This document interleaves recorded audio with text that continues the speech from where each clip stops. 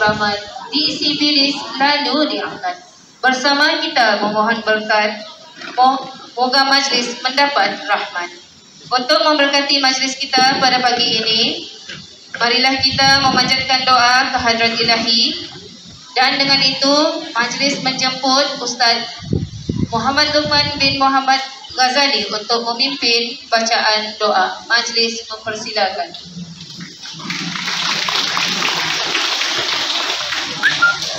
Assalamualaikum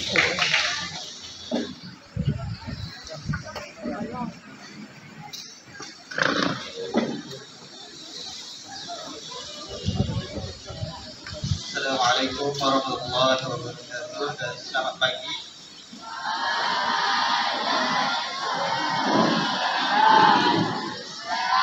Ya, baik, uh, yang beragama Islam sama-sama kita tanda tangan.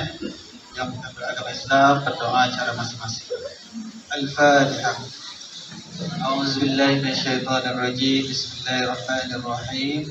الحمد لله رب العالمين. الرحمن الرحيم. مالك يوم الدين. إياك نعبد وإياك نستعين. اهدنا الصراط المستقيم. صراط الذين أنعمت عليهم. غير المغضوب عليهم ولا الضالين. أعوذ بالله من الشيطان الرجيم. بسم الله الرحمن الرحيم.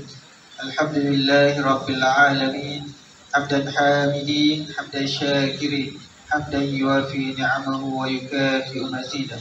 يا ربنا لك الحمد كما ينبغي لجلال وجهك الكريم وعزيم سلطانك اللهم صل على سيدنا محمد. طب القلوب ودوائها. وعافظ الأبدان وشفائها ونور الأبصار وضيائها Segala puji-pujian bagi Allah Salawat dan salam ke atas junjungan besar Nabi Muhammad sallallahu alaihi wasallam dan keluarga serta para sahabat baginda. Ya Allah, Ya Rahman, Ya Rahim, pada hari ini kami memanjatkan kesyukuran kepadamu Ya Allah. Kerana pada pagi yang penuh berkat ini kami dapat berkumpul dalam majlis perasmian penutupan Minggu Anti Dadah peringkat Sekolah Kebangsaan Tombowo. Dan pada pagi ini kami berkumpul bagi menyatakan rasa bencinya kami kepada racun pemusnah yang merosakkan umat manusia sejagat. Ya Allah, Ya Rahman, Ya Rahim, Kau cetuskanlah dalam diri, dalam hati kami, anak-anak didik kami serta seluruh warga SK Tombowo ini rasa jijik dan benci terhadap najis darah dan bahan-bahan lain yang seumpamanya. Ya Allah, peliharakanlah kami dan jauhilah kami dari perkara yang membinasakan kami. Ya Allah, kurniakanlah kesedaran kepada hambamu yang terlibat dalam penyalahgunaan dadah. Berikanlah keinsafan kepada pengedar dadah durjana agar kami, anak-anak didik kami, warga sekolah kami, kampung kami serta negara kami yang tercinta ini sentiasa selamat, aman makmur dan bahagia. Allahumma ja'al jam'ana haza jam'an marhuma wa tafarruqna min ba'di tafarruqan ma'suma. ولا تجعل اللهم فينا ولا معنا ولا من يتبعنا شقيا ولا مطرودا ولا محروما. ربنا آتنا في الدنيا حسنة وفي الآخرة حسنة وقنا عذاب النار. وصلى الله على سيدنا محمد وعلى آله وصحبه وسلم. والحمد لله رب العالمين. آمين. Amin amin ya rabbal alamin. Majlis mengucapkan terima kasih kepada Ustaz Luqman atas bacaan itu tadi. Semoga majlis kita akan lebih berkat dan dirahmati oleh Allah Subhanahu wa taala. Sudilah puan jalan berlapan, jalan berlapan di malam kelam. Sudilah puan beri ucapan kata perutusan penyampai kalam. Para hadirin sekalian, tanpa membuang masa majlis dengan sukacitanya menjemput dan mempersilakan Puan Vanessa Elias Angela Suimin Guru Besar SK Tomboho untuk menyampaikan ucapan dan seterusnya merasmikan majlis perasmian penutupan Minggu Anti Dadah peringkat Sekolah SK Tomboho bagi tahun 2022. Majlis mempersilakan.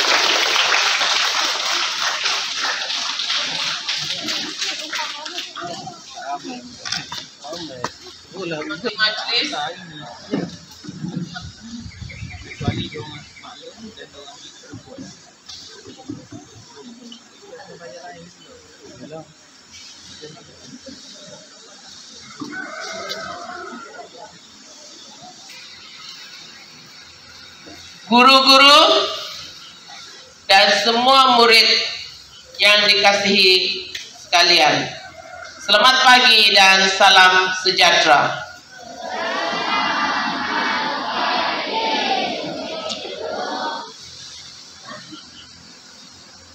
Terlebih dahulu saya merakamkan rasa kesyukuran kepada Tuhan kerana atas izinnya kita warga sekolah pada hari ini dapat berkumpul dan bersama-sama dalam menyempurnakan majlis penutupan bulan anti dada pada tahun 2022 ini. Sebagaimana yang kita sedia maklum, tanggal 19 Februari setiap tahun diisytiharkan sebagai Hari Anti Dada Kebangsaan. Ini menunjukkan negara kita amat komited untuk memerangi musuh nomor satu negara arah mencapai sasaran Malaysia bebas dada. Murid-murid yang dikasihi sekalian, menurut Kamus Dewan, dada ditakrifkan sebagai ubat-ubatan Sememangnya ubat itu adalah dada. Tetapi ianya digunakan dalam dos yang terkawal. Ianya menjadi musuh jika, jika kita mengambilnya dalam dos yang berlebihan. Seperti yang kita telah sejak maklum, dada juga terbahagi kepada beberapa jenis dada. Seperti yang boleh lihat pada laluan PPDA kita itu. Nampak gambar-gambar itu? Nampak? Contohnya ada morfin, ada heroin, ada kokain, syabu, ganja dan banyak lagi. Kesan dada juga berbeza-beza. Bergantung kepada dos dan cara pengambilan. Antaranya ialah ada yang muntah-muntah yang kamu nampak di TV itu kan ada yang muntah-muntah badan menggeletar dan boleh membawa kepada kematian bagi uh, pelajar pula antara tanda awal yang boleh dikesan jika terlibat dengan dada ialah sering poteng sekolah Pak Jaga siapa yang sering poteng sekolah tu kita akan lihat itu ya datang sekolah pada hari-hari tertentu sahaja. Pada memilih hari lagi ni. Bila dia harus datang. Kalau Cikgu Hasan masuk kelas dia, dia tidak mau datang. Nah, itu contoh.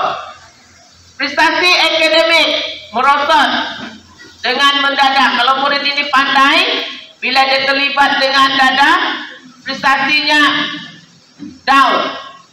Okay? Mata dia merah. Ah, itu tanda-tanda mata merah. Sering mengantuk di dalam kelas. Dan sering ketandas. Bukan itu saja. Buli pun berlaku. Ah, dia berani membuli kawan minta duit. Okay? Dan juga berani meminta-minta duit. Ah, itu tanda-tanda orang mengambil dada. Jadi pelajar-pelajar yang cikgu kasihi, jika murid-murid cikgu ini tidak mahu terlibat dengan najis dada, jauhilah dahulu rokok. Karena bermula dengan rokoklah murid-murid semua akan terlibat dengan dada. Ingatlah, sekali mencuba deritanya akan ditanggung seumur hidup. Jadi jangan cuba-cuba merokok macam dewasa. Nampak saja siapa-siapa merokok minta sebatang. Ataupun ambil puntungnya dicoba. Tahu puntung? Ah, mimpunor pa yang abang kamu buang ka, bapak kamu buang ka, kamu ambil kamu coba. Macam mana rasa tu rokok? Jangan sesekali buat, ya. Dan banyak lagi masalah sosial yang akan timbul akibat terlibat dengan najis dadah. Mula-mula pelajar ini akan membohongi ibu bapa. Ah, ha, dia bohong ibu bapa. Kenapa dia bohong ibu bapa? Ha, minta duit ke tu? Mencuri uang untuk mendapatkan bekalan dada. Dia berani mencuri sudah. Mencuri duit lima ringgit, naik di sepuluh ringgit, begitu. Kayak bohong ibu bapa beli buku lah cikgu suruh, ah, banyak-banyak lagi yang melibatkan sekolah digunakan untuk membohongi untuk membeli dada, ya, mendapatkan uang. Jika tidak mendapat apa yang diinginkan, ah, murid-murid ini sendiri sanggup membunuh asalkan hajat dapat dipenuhi. Itulah yang kita lihat pelakunya ragut, ya, membuli itu.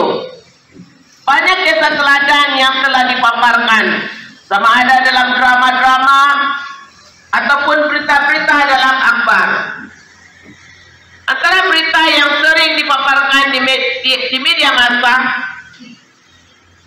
si anak ini sanggup membunuh ibu, bapak, kandungnya sendiri, ibunya sendiri, ibu kandungnya sendiri, demi mendapatkan duit hanya semata-mata untuk membeli dada.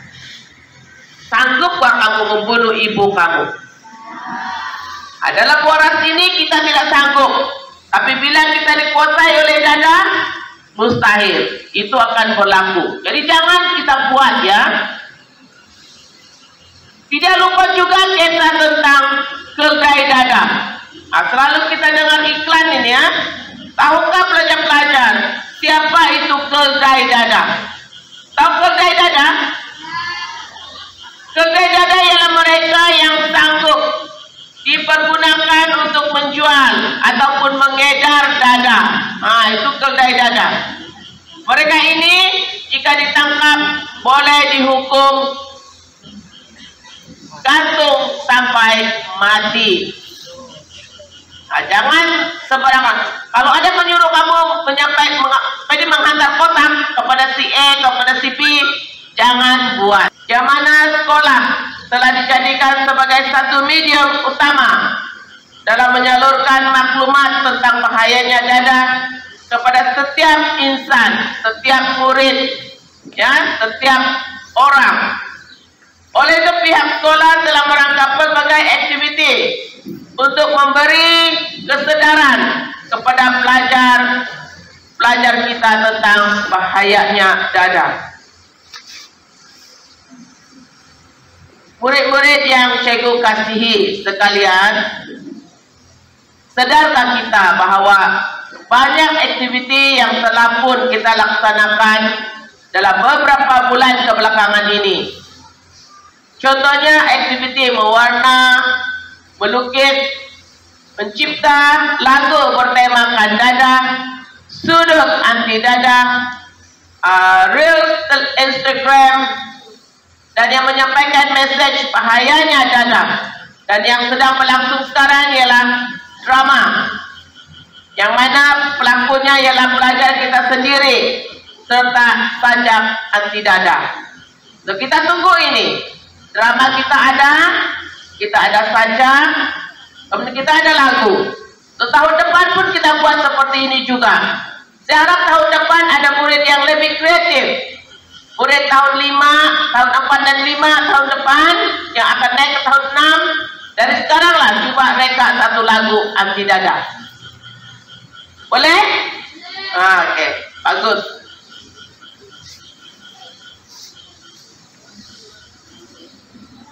ini semua adalah usaha dan inisiatif pihak sekolah menjadikan aktiviti ini sebagai sebuah medium untuk menyampaikan mesej tentang bahayanya dada agar murid-murid di sekolah ini sedang dan menjauhi rokok dan dada ya jangan dekati rokok jangan dan kamu juga pengawas bagi diri kamu. Kamu awasilah sikap kamu. Jadilah, murid yang cemerlang. Murid yang mendengar kata. Bila bila orang tua bercakap, kamu dengar. Jangan pula cikgu sedang bercakap, kamu bercerita. Mana boleh dengar? Kamu faham tak apa yang cikgu cakap? Ha? Nanti cikgu buat quiz, sudah tahu kamu boleh jawab atau tidak ni? So, sekali lagi saya mengucapkan ribuan terima kasih kepada um, PKM, unit uh, bimbingan dan kaunseling, uh, unit apa uh, ni, uh, unit PPDA dan semua guru yang terlibat secara langsung maupun tidak langsung dalam merealisasikan program kita pada hari ini. Akhir kata, pihak sekolah akan terus berusaha untuk membantu masalah dada ini hingga ke akar umbi dengan melibatkan semua agensi luar. Contohnya program pemadam dan program iman sesuai dengan tema lebih baik cegah. Dengan itu, saya dengan sukacitanya dengan resminya menutup program anti dada peringkat sekolah 2022 SK Tombogo. Sekian, terima kasih. Majlis dengan ini menjemputkan lagi guru besar diiringi barisan penolong kanan SK Tomboho untuk menjayakan gimmick perasmian penutupan Minggu Anti Dadah peringkat SK Tomboho 2022. Dipersilakan.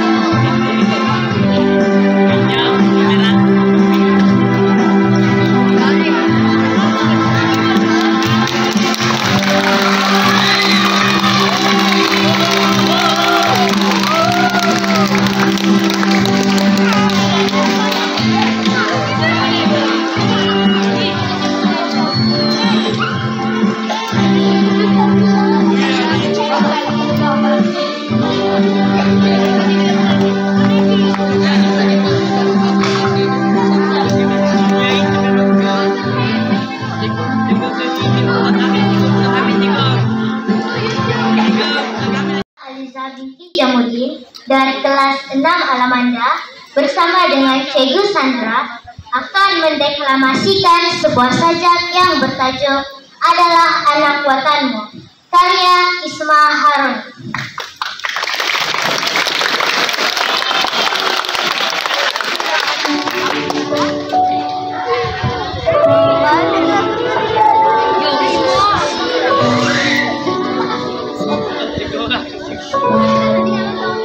Di setiap detik perjalanan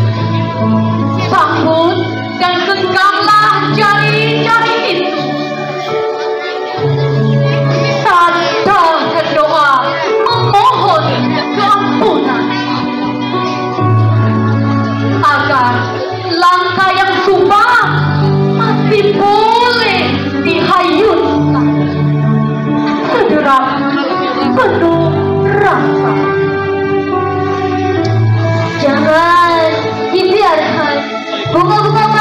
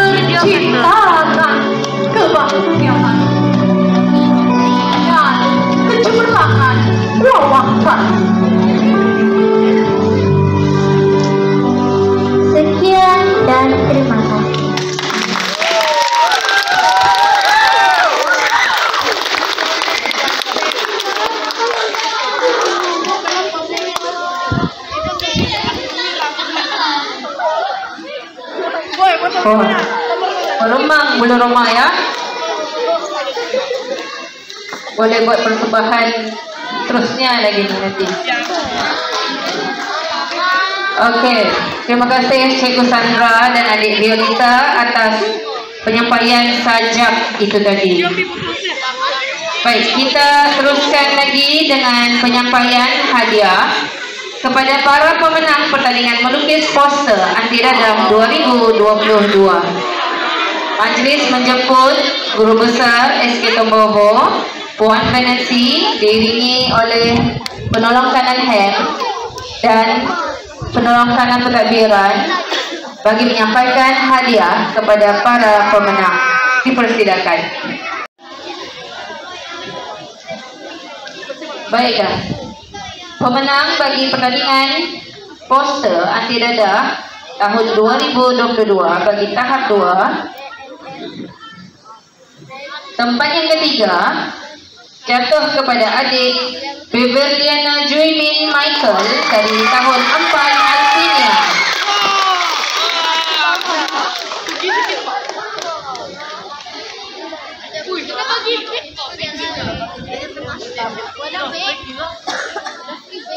Tempat yang kedua dimenangi oleh adik Siti Nur Afiqah Sofia dari Lima Akasia.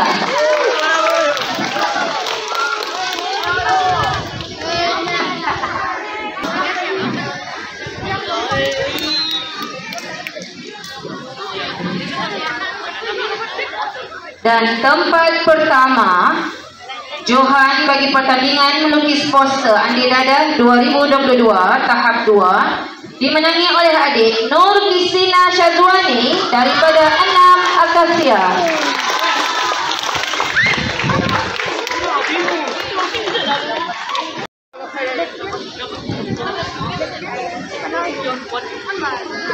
Tahniah kepada para pemenang. Kita juga menyediakan sagu hati kepada murid-murid yang berjaya mendapat hati pengadil juga ya. Bagi tahun 4 sagu hati dipersilakan adik GN Lee John daripada 4 Alpinia. Adik Glienda Diandra Joni dari 4 Alpinia. Dan adik Laura De Vera dari 4 Anggrek. Oh, tidak hadir.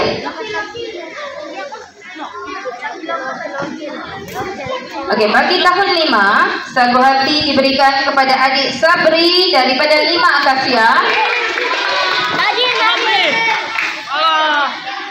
Adik Nur Shazlina Michael 5 Akasia. Dan adik Vasela Jamudin dari 5 Alpinia.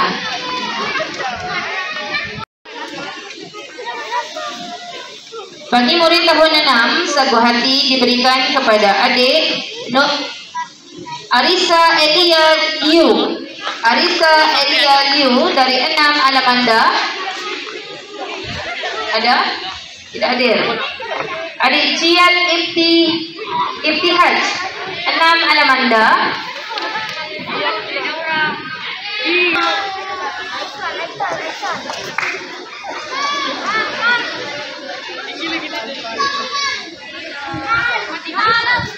Majlis mengucapkan terima kasih atas kesediaan Puan Guru Besar untuk menyampaikan hadiah-hadiah itu tadi.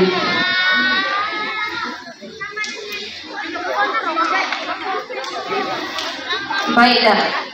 Bagi menyerikan lagi majlis kita pada pagi ini, marilah kita bersama-sama menonton persembahan di bawah pimpinan Cikgu Zaitun yang akan dipersembahkan oleh murid-murid tahun 4 Alpinia dan Alamanda.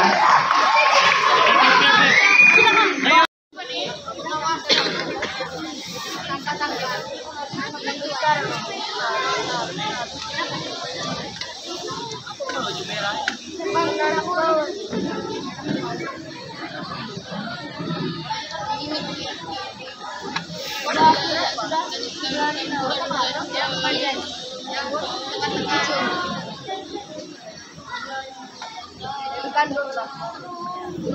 dia dah belajar. Ada yang mau bertanya. Oh, dia bunuh.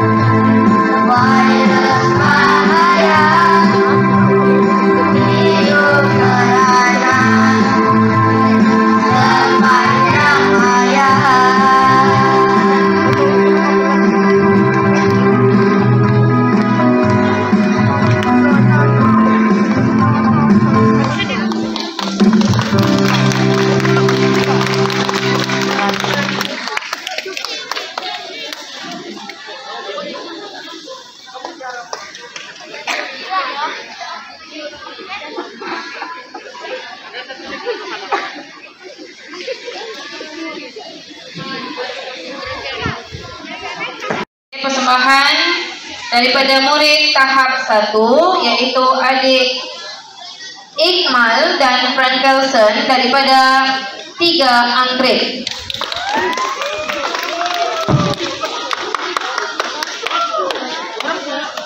Majlis mempersilakan adik Iqmal dan Frankelson untuk menyampaikan dan mendeklarasikan sebuah sajak yang bertajuk Dadah Musuh Negara pagi dan salam sejahtera.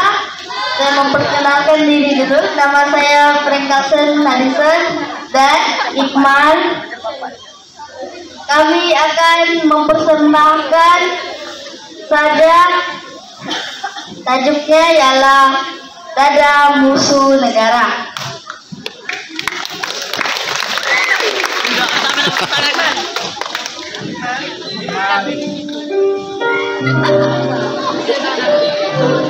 Dada, kau datang mengaku kawan. Kau nak membantu meringan beban. Tetapi, wahai teman, kau sebenarnya musuh. Musuh nomor satu negara. Kau buat mereka alfa. Kau buat anak bangsa rebah. Kau musuh negara.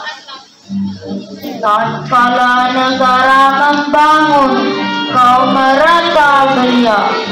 Negara punah, musnah, lemah. Kerana kau dada durjana.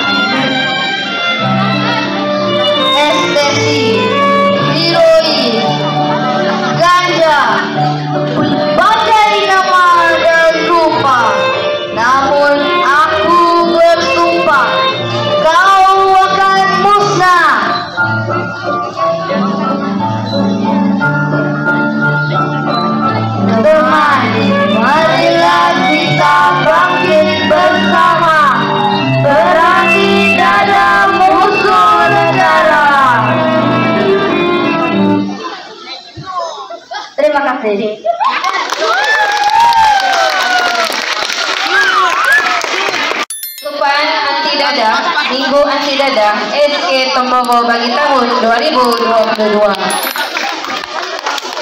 Sekian sahaja daripada kami. Wabillahi taufiq wal hidayah. Assalamualaikum warahmatullahi wabarakatuh